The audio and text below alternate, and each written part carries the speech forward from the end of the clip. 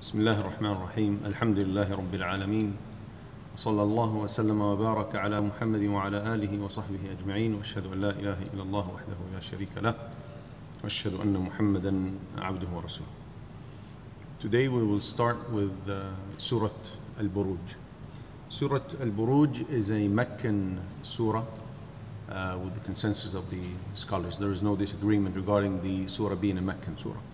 Uh, the name of the surah is Al-Buruj, according to the majority of the uh, books of tafsir. It was revealed after Surah Al-Shams and uh, before Surah Al-Tin. There is no uh, particular reason for the revelation of uh, the surah. Although the main theme of the surah is regarding the people of the trench, yet there is no indication that this is the reason of revelation uh, for the surah.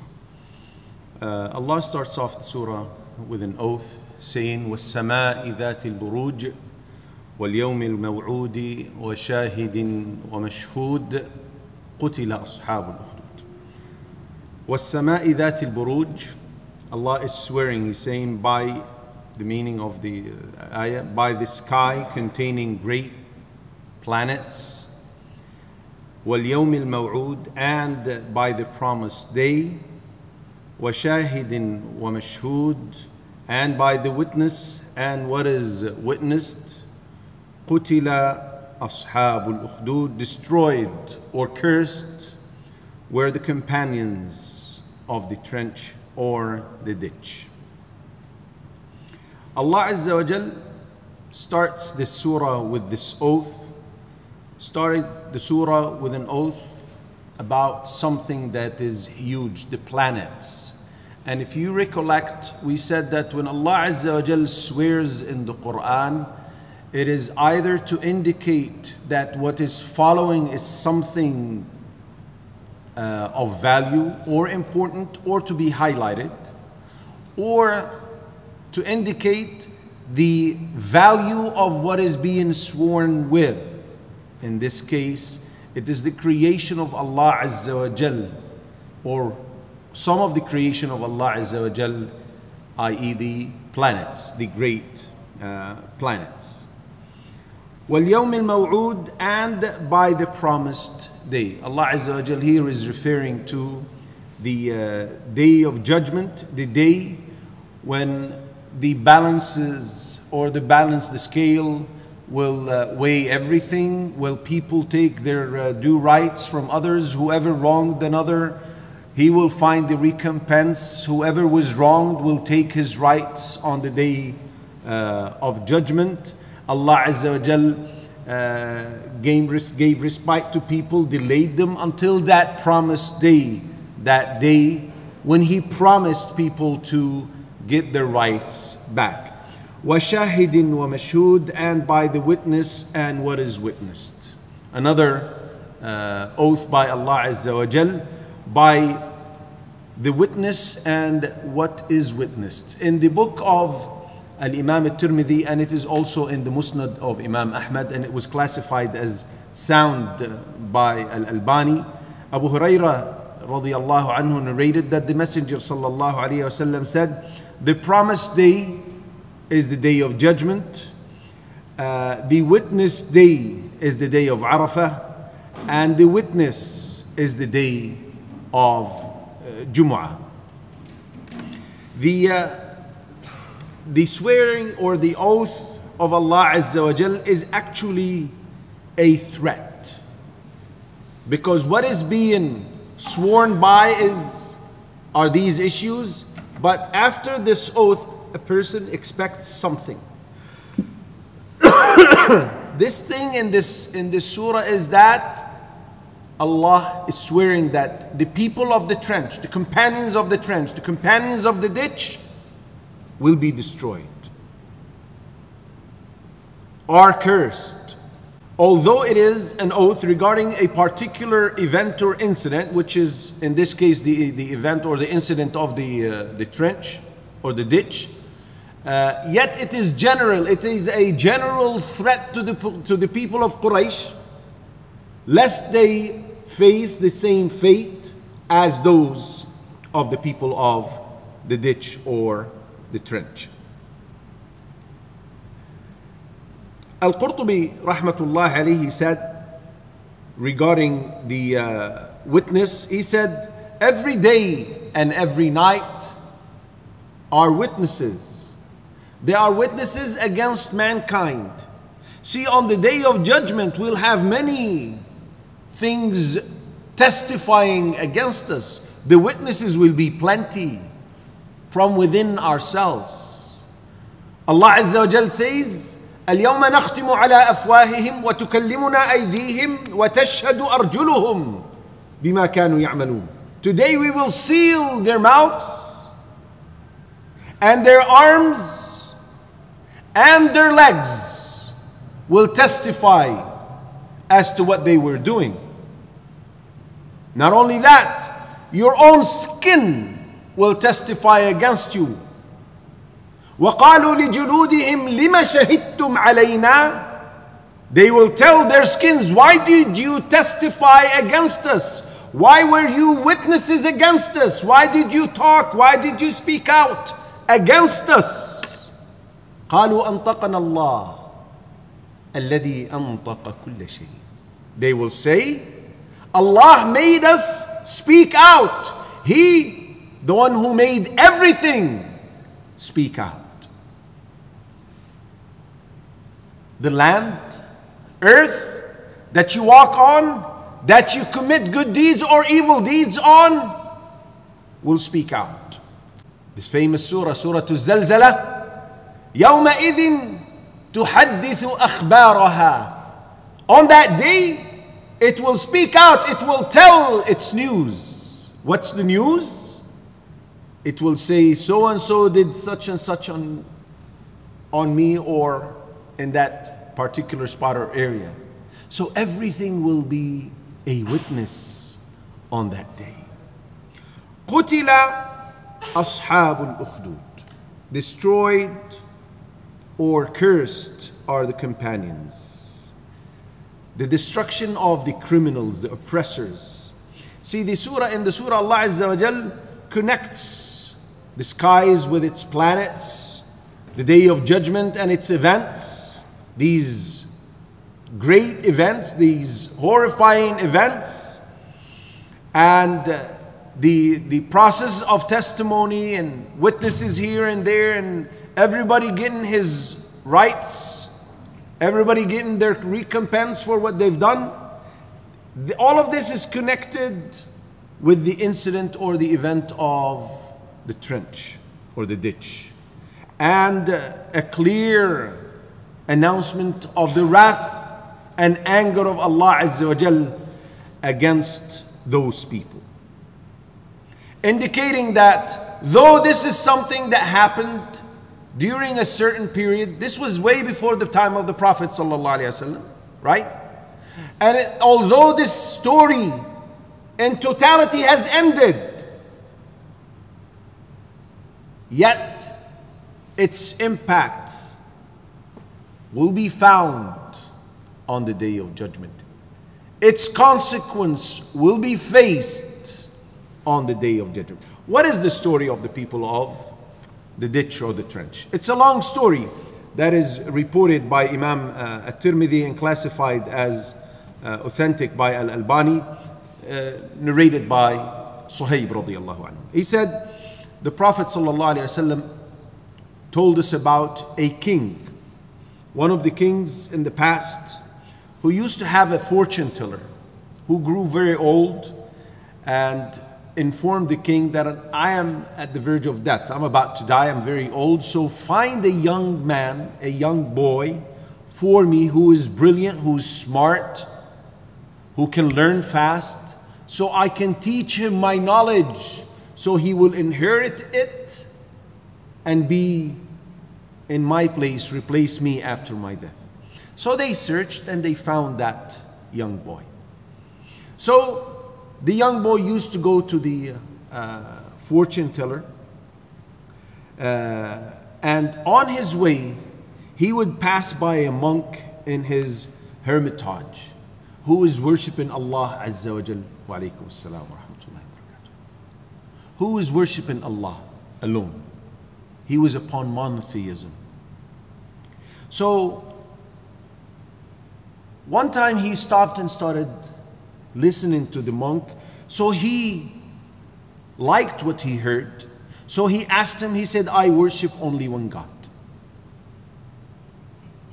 So the boy decided that every day on his way to the uh, fortune teller, he would stop by the monk, learn from him, and then go to the fortune teller. So the fortune teller, after a while, started complaining that this boy comes very late. So he informed his family, his family punished him. So the monk told him, Next time you go late, and the fortune teller asks you where you were, tell him I was with my family. And if your family asks you, ask you where you were, you tell them you were with the fortune teller this way, they will not find out. So after a period, the, the monk saw that the boy has learned everything. He said, Son, you've learned a lot, and you will be tested. And you need to speak out, meaning convey the message. But you will be tested if you were ever caught. Don't tell about me. So one day when he was going to the monk, there was a huge gathering. People were uh, on the road, afraid because there was a beast. And one of the narrations said that the beast was actually a lion. And they said, Who can save us from this lion? Who can make it move? So the boy said, This is the day I test what I have. So he grabbed the rock and he said, Oh Allah, if what I believe is, in, is true, if what I believe in is true, kill this lion. And he threw the rock and killed the lion. So the news of the boy spread. So a blind man heard of him and he said, I heard that you did this and that. So I will give you this much and that much if you just bring back my sight to me. He said, I don't want anything from you. I just want you to worship Allah alone if I bring your sight back to you with the command of Allah Azza wa. I will supplicate Allah and He will bring your sight to you. He said, I agree. So he supplicated Allah for him and he regained his, uh, his eyesight. So the news spread in the entire village until it reached the uh, king. At that, he brought the boy and he tortured him. No, he brought the uh, blind and then he brought the boy. And the boy told about the monk. The monk was taken. He said, The king said, I am going to kill all of you in different ways. So he ordered that the monk and the blind person, after they refused to go back from what they were worshiping. He, to, to have a saw placed on their, on their heads and split them in two halves, which they did. As for the boy, he said, I'm going to kill you in a different way. He ordered the soldiers to take him to the highest peak of a mountain and throw him from there. So they surely did. They uh, climbed the mountain. Allah caused the mountain to shake. All the soldiers fell down and died. And the boy stepped down, walked into the king, and he said, what? You're still alive? He said, Yes, Allah killed your soldiers and kept me alive. So he commanded that the boy be taken into a boat in the middle of the uh, sea and be thrown to drown to death. And they did. Allah Azza wa Jal caused the, the, the boat to shake with wind and waves and all that. Everybody fell from the boat, drowned to death, and the boy went back to the king, and uh, the king was amazed. And the boy told him, there is, there is only one way to kill me. That way is that you grab, grab an arrow and say, Bismillah, in the name of Allah, the Lord of the young boy, and shoot. This is the only way you can kill me. So the, the uh, king wanting this story to end, he's already had two people believed. In addition to that young boy, that's three that can become a uh, trend and people could become believers altogether and he would lose his uh, position as a king. He would have no subjects, right? So he said, Bismillah, Rabbil Ghulam. And he shot the arrow and it struck the boy right here and the boy died and he placed his hand like this as the narration describes. He placed his hand between his eye and his this area between the eye and the ear and he died as it is as he was. At that all people became believers. So people the followers the close followers of the king. They said you were scared because of three people. Now the entire village became believers. So he commanded a big hole a big ditch to be dug and they filled it with wood. And they uh, started a huge fire. And they gave the people an ultimatum you either reject your faith go back on your faith or you will be thrown into that ditch and everybody started willingly going into the ditch one of the narrations said subhanallah that a mother having her infant, her suckling infant, was at the edge and she became reluctant. She has her suckling child. Subhanallah, the mercy of the mother, the heart of the mother is undescribable. So Allah made that infant speak out and say, O mother, remain steadfast and go in. And she did. It is said that during the time of Umar ibn al-Khattab, for some reason they had to dig where the boy was, was buried. The, the, the young boy was buried. And that they, they found the boy as he was in the same position with his hand on his face. Now, قتل أصحاب الأخدود destroyed and cursed are the companions of the trench. This is a, a severe statement indicating the anger and wrath of Allah Azza wa Jal against those who did this uh, vicious killing, uh, this heartless killing to the people, and to the ugliness of the manner these people uh, were killed. And then Allah Azza wa Jal in the following verses gives uh, some indication as to some of the things that took place. النار ذات الوقود إذ هم عليها قعود containing speaking about that ditch containing uh, the fire full of fuel when they were sitting around it وهم على ما يفعلون بالمؤمنين شهود and they were watching what they did to the believers burning them that is so Allah Azza wa Jal is describing the ditch with fire. The scholar said this is to indicate the size, the huge size of that fire.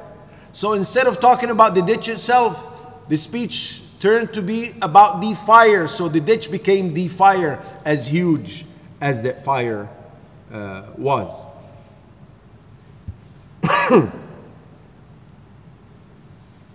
And then Allah Azza wa Jal describes the, the behavior of those who burnt the believers. They were sitting around the fire, watching the believers with joy. They were watching what the fire did to the flesh and, bodies of these believers, enjoying the scene of seeing people being burnt alive. This is just ugly. This is unhuman. This is you can just name that anything you want. This is not just inhuman. This is, animals don't do that. I mean, animals have mercy at times more than humans do. Because this is just, I don't know what word to use for the type of perse persecution of uh, and killing that was done uh, and practiced against the believers in that. وما نقموا منهم إلا أن يؤمنوا بالله العزيز الحميد and they resented them not except because they believed in Allah the exalted in might the praiseworthy. So the only crime these people committed was to believe in Allah. They had no sin, no guilt, no previous enmity with those who punished them or tortured them. The only sole reason was their belief in Allah Azza wa Al Aziz, and look at the ending. Look at the ending of the, uh, of the verse. Al Aziz, the exalted in might, meaning the one who is able to do anything. Al Hamid, the praiseworthy, the one who deserves praise in all situations, regardless of what it is, even during such tough times. Right? And now I just want to point out something here that this story is nothing but a sample of what all believers face throughout time, throughout history, and up until now. What happens is that tyrants first try to turn you away, turn the believers away from faith from the right path. Using all means, propaganda like in the, in the form of media now, right? Like Allah Azza wa Jal says, إن يثقفوكم يكونوا لكم أعداء ويبسطوا إليكم أيديهم وألسنتهم بالسوء. They use their hands and their tongues to wrong you, to go against you, to speak against you, to intimidate others against you. So, they first try that. If they can't, if they're unsuccessful, then they will go into the physical torture, imprisonment, torturing you. If that doesn't work, they will reach that final stage of actually killing people. Those who are upon the truth need to be ready to face that. Because you see, the real victory is not to win a battle, but rather the real victory is to be able to remain firm on what you believe in despite hardships and regardless of torture. Because the real victory is to win the pleasure of Allah and the Jannah of Allah. We must remember that this life is a, is a very short interim stage on the way to Jannah, inshallah. So we need to put up with anything that comes on the way because of our faith. We need to tolerate that and take it with contentment for the sake of Allah Azza wa الذي له ملك السماوات والأرض والله على كل شيء شهيد To whom belongs after the conclusion with uh, Al-Aziz Al-Hamid the uh, exalted in might the praiseworthy to whom belongs the uh, dominion of the heavens and the earth, and Allah over all things is witness. So Allah Azza is the one who is in full control and in charge of the heavens and earth, and He sees, He's all seeing, all knowing, He sees everything that's taken place. He sees you, all believers, when you are tortured for His sake. And he is seeing you, all oppressors and tyrants, when you're wronging the believers because of their faith.